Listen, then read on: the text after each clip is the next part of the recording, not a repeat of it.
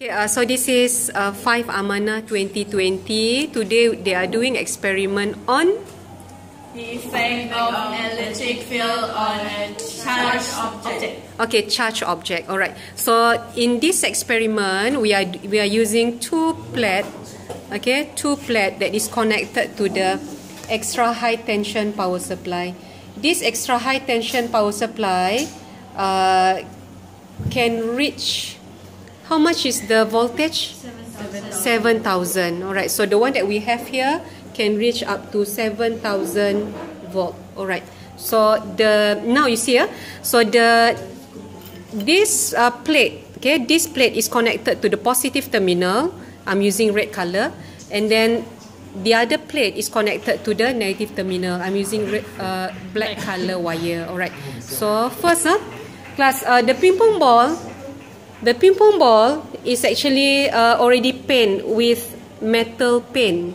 Okay, so ping pong ball paint with metal paint. So means that ping pong ball metal coated. Nah? Alright, so I switch on. Kejap. Okay, I switch on the extra high tension power supply.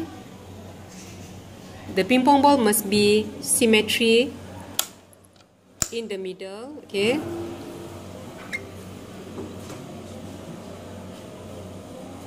Alright, uh, now is zero, zero volt. I increase, I increase the voltage. Now it's already 1000 volt. I increase again. See what happened to the ping pong ball.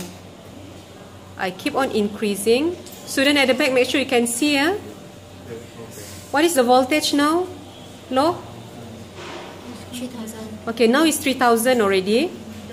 Uh, what happened to the ping pong ball? It's going to the negatively.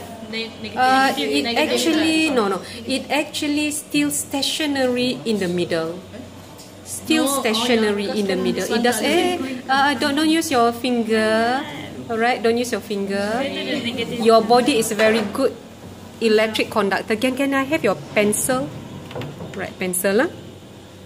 Okay. So now, uh, class, if I let the ping pong ball touch one of the plate, see what happened. It just attracted to the negative terminal. So means that the experiment is not yet correct. I think because of the ping pong ball is not really symmetry in between the two plate. Okay, so we change again. I switch off this first. Switch off the extra high tension power supply. Can you move? Can you move this side? Alright, nearer, but still symmetry. Eh? Move this plate, yeah, nearer, nearer. Okay, ah, uh, but does not touch. Nearer, but make sure it does not touch.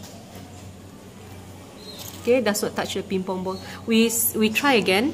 Class, actually at first, uh, when you increase the voltage, no matter what is the voltage, uh, the ping pong ball should not moving. The ping pong ball should be stationary at first. What is the reason?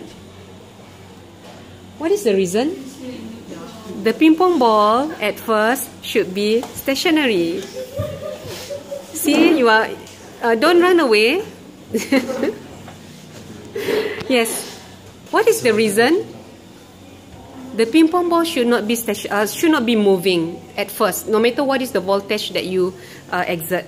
because the ping pong ball is neutral. Good, because the ping pong ball is neutral. Yes. Okay, good, Brit Brittany.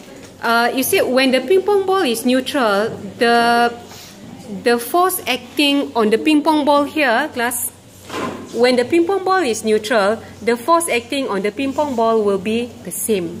So same force, same magnitude of force pulling to the left and to the right. So the ping pong ball will be stationary, which means the net force is Zero. zero. This is chapter 2, form 4. Faham eh? Okay, we try again. Hopefully this time it work.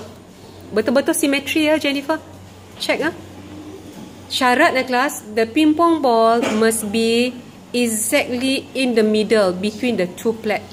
And we try to make the distance of the ping pong ball and the plate uh, as close as possible.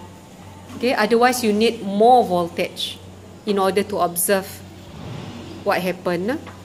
Dah ke? Okay. Ah. Alright, put your hand behind. Nah? Okay, start again. Okay. Okay, switch on first. Okay, zero. So I increase the voltage. Now it's 1000. Ping pong ball still stationary. Make sure you all able to see. Ah. I increase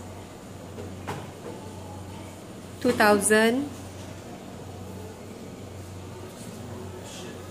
Now it's 3000. Okay, 3000. Still stationary, right? No. So it it touch. Oh, touch the already. negative. Yep. The negative field. Okay, it means that still not still not symmetry. I think we should move this one. Eh, wait, wait, don't, don't use your finger.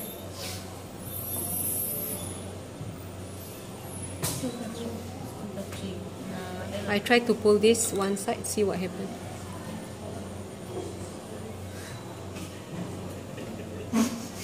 Yeah, not working. Not really showing you the correct observation.